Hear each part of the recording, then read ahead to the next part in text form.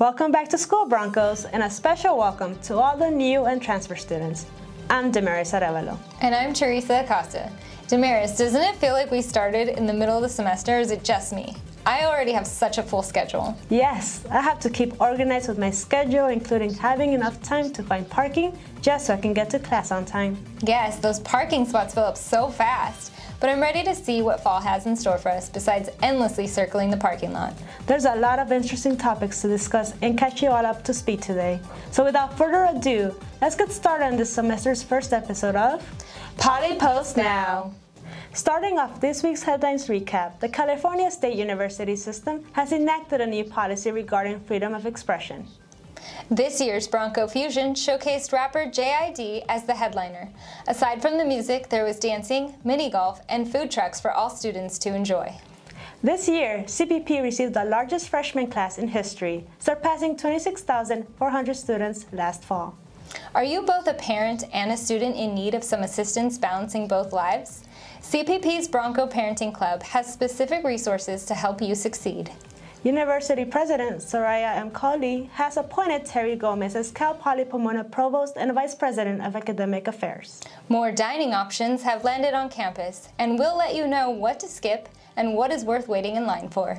A new director was assigned to the National American Graves Protection and Repatriation Act and CalNAGPRA for CPP. And lastly, the top five smartphone apps according to CPP students to help you get through the semester and beyond.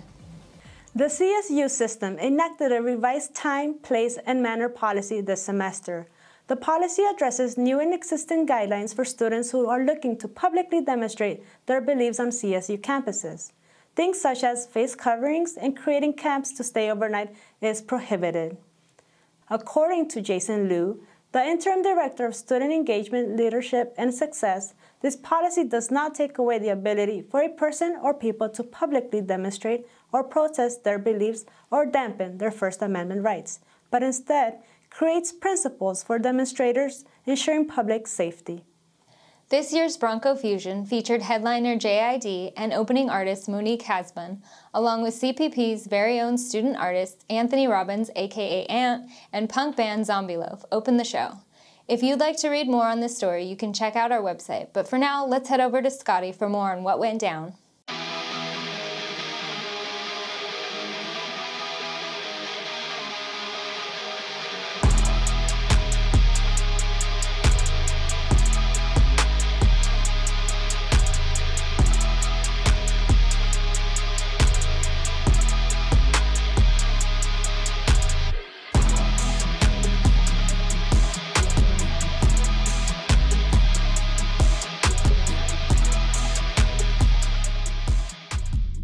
Welcome back, Broncos. This is Scotty Ninh with the Poly Post. And are you ready to start cramming for exams? Not me. Even though summer may have felt short, I'm here at the Bronco Commons where Cal Poly Pomona's ASI is hosting their highly anticipated annual Bronco Fusion concert. All in hopes of giving students one last chance to party and giving them the summer closure they need. Yeah, honestly, I think um, as an alumni that went to Bronco Fusion, I really think um, Cal Poly does it a little bit different because other universities uh, will do a spring concert or end of year concert. I think for us, it's just what makes uh, like Cal Poly special is that we again we have these 20 years of tradition with Bronco Fusion and how it's grown. And it's really just uh, a great way to kick off the year. Um, I think you start the year on a, on a high note and then hopefully continue that on throughout the whole entire year. And so I think it's just what makes Cal Poly special, and it makes us what's it makes us um, unique in terms of our big concert as compared to other campuses around you know our, our neighborhood. This year, ASI invited well-known hip-hop artist JID this stirred quite a lot of hype within CPP students, and the community's favoritism towards hip hop pulled many eyes towards this year's Bronco Fusion. I'm really excited.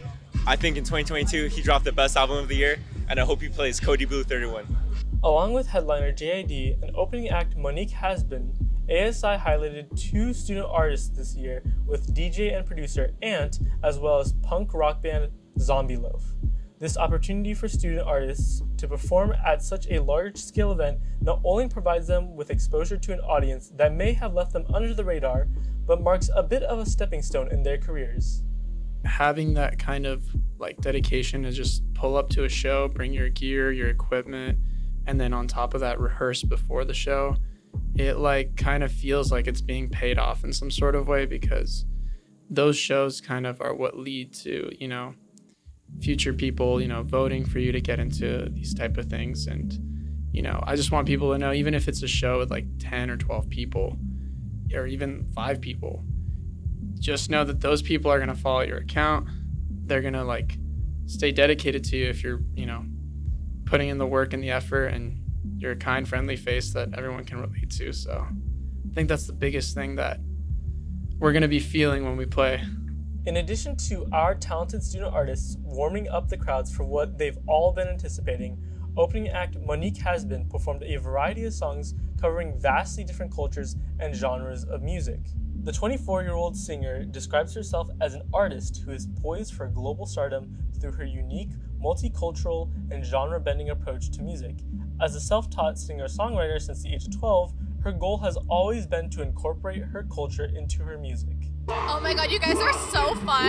And it was funny because I had like songs for the girls and songs for the guys. And I was like, I want to hear the girls scream. But you guys are so fun. I want to come back. If you're the type to easily get FOMO, like myself, don't worry, as ASI holds this event every academic year and is constantly trying to improve upon it. Plus, there are plenty of upcoming ASI events throughout the entirety of the semester, which you can find out on their website. Anyways, that's it from me at Bronco Fusion. Let us know what you thought of the event, and maybe give us possibly your personal choice for a future Bronco Fusion.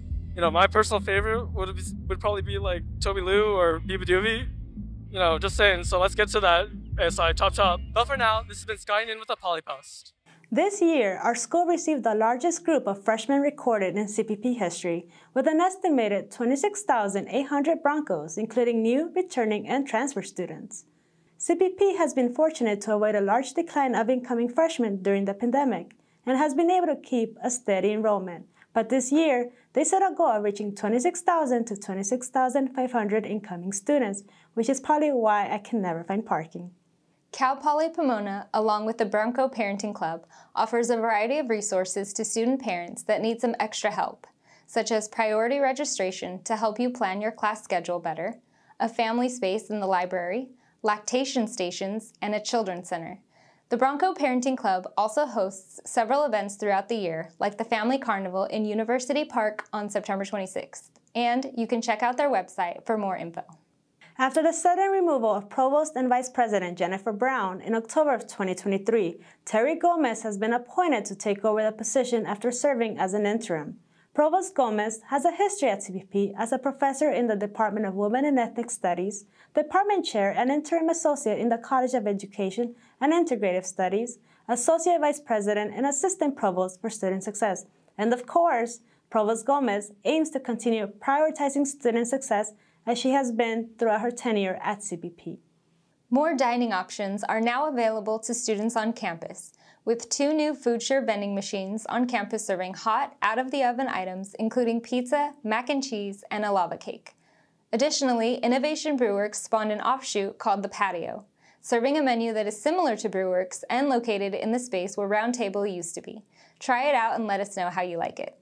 Desiree Renee Martinez is officially appointed as the new Director of Tribal Relations, the National American Graves Protection and Repatriation Act, and CalNAGPRA for CPP. One of Martinez's objective goals is to ensure the campus compliance with state and federal legislation through CSU new NAGPRA and CalNAGPRA implementation policy. Martinez is now leading a new position after reconstructing a previous position on the Presidential Advisory Board and you can visit our website for more info. Smartphone apps are a must-have during your time in college.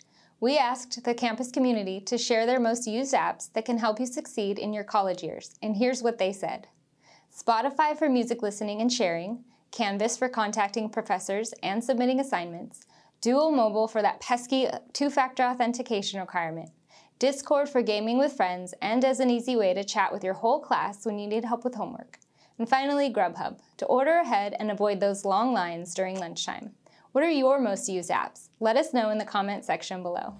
Besides the start of a brand new school year, our sports teams also started their preseason and we are excited to see what Broncos have in store for us. It's the start of fall season sports, and I bet our Broncos are already warmed up and ready to attack this semester head on. Let's head over to Samantha now to see how our teams are holding up over on Poly Post Sports. What's up, Broncos? My name is Samantha Campion, and I hope everyone enjoyed their time off and cheered on Team USA at the Paris Olympics. What a run for the women of Team USA, accounting for 65% of USA's gold medals. Speaking of women's sports, Bronco volleyball returns three All Americans, and women's soccer looks to repeat as CCAA regular season champions after earning the program's first this past season. School is back in session, which means fall sports are back in action this week as they take on their preseason non conference schedules. Let's take a look at some of the latest additions to our programs, upcoming schedules, and more in this semester's first segment of Polypost Sports.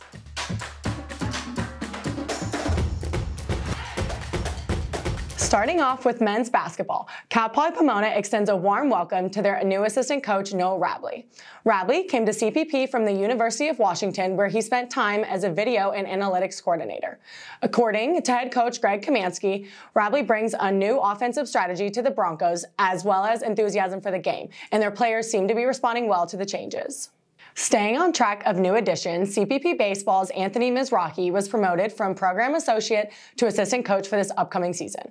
Mizrahi joined the program in 2020 and has contributed to the Broncos' 109 and 74 overall record in three consecutive NCAA appearances. Best of luck to you this season, Broncos.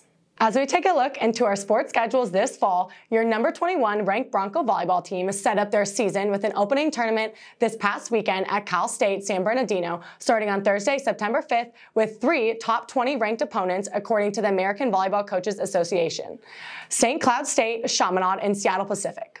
The CCAA preseason polls dropped last week, and the Broncos sit at number two behind defending national champions Cal State LA, along with three players named to the CCAA watch list senior setter Katie Miller and outside hitter duo Madison Novak and yours truly, Samantha Campion. Keeping the ball rolling, next up, men's soccer was also ranked number two in the CCAA preseason polls with four players named to the CCAA watch list. Junior forwards Matt Frederickson and Sam Lena, along with junior defender Marcus Johnson and senior defender Jasper Winslow. The Broncos had their first home opener on September 7th against Point Loma, and if you missed it, you can catch live stream replays on broncosathletics.com. Moving on to the women's soccer team, the Broncos are coming off their first regular season CCAA title in history. With an impressive 11 5 3 overall record last season, they received the number one spot in the CCAA preseason polls. Six players were named to the CCAA watch list junior defender Liberty Ortiz, senior forwards Tara O'Pear and Jacqueline Cuevas, senior midfielder Auburn Burnett, junior midfielder Marissa Salazar, and goalkeeper Bella Hera. The Broncos also begin their championship quest with the home opener against Vanguard Thursday, September 5th at 7 p.m.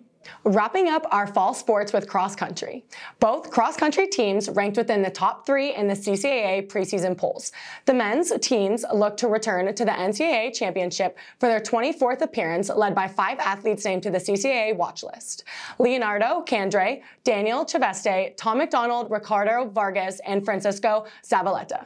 The women's team is still reaching for their first NCAA appearance behind junior Vivian Martinez, following an eighth place finish in CCAA watchlist honors. That is all for today, Broncos. As the fall season starts to heat up, make sure to stay tuned for more Polypost sports this semester. And keep up with all things Bronco sports at broncoathletics.com, where they stream live games on this FloSports network. Thanks for tuning in. My name is Samantha Campion, and I'll see you again next time on Polypost Sports.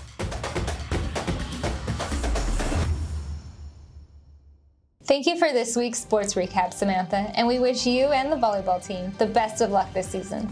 I plan on catching some of those and other sports games live on the website.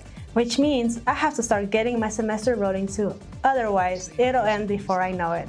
But that's all for today's episode, Broncos. Tune in again next time with us here at Polypost Now. And don't forget to subscribe to our YouTube channel so you can be notified when the latest episode comes out. And check out our website at thepolypost.com for more leading news content. But for now, I'm Teresa Acosta. And this is Damariz Arevalo.